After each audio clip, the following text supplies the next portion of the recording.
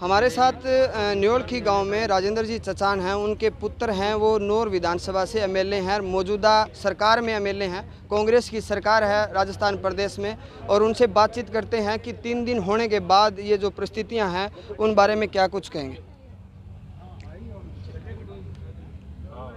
अपने जो कुएँ के अंदर, खुदाई के दौरान, दो मिस्त्री या मजदूर उसके वहाँ मिट्टी धसने से वो दब गए थे।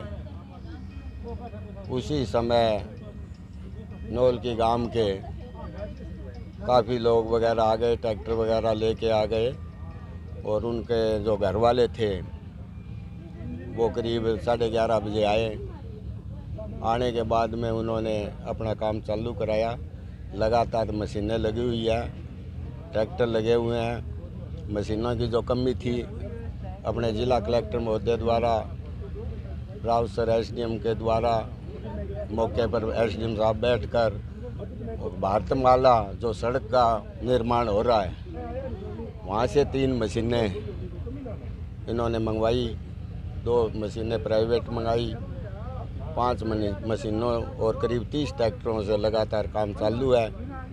कल करीब मिट्टी का काम पूरा हो गया था।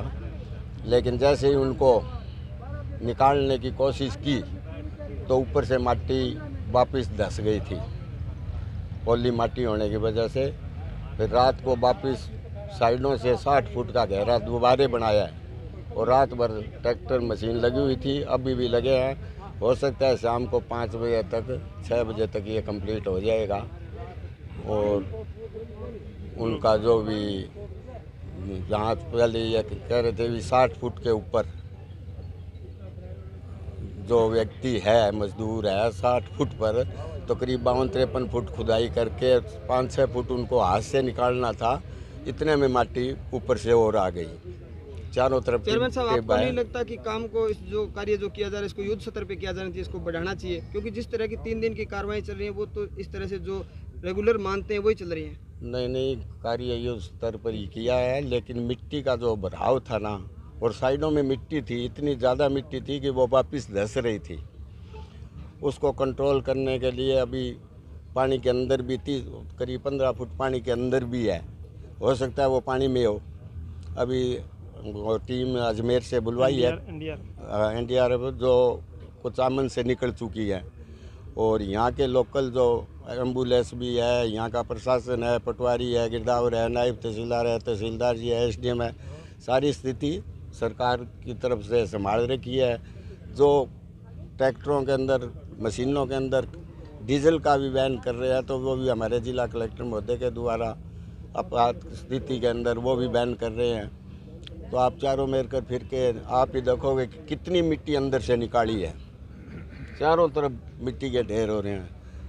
और ईश्वर की कृपा है लेकिन मिट्टी ढहने की वजह से यानी तो कल ही व्यक्ति निकल जाते थे।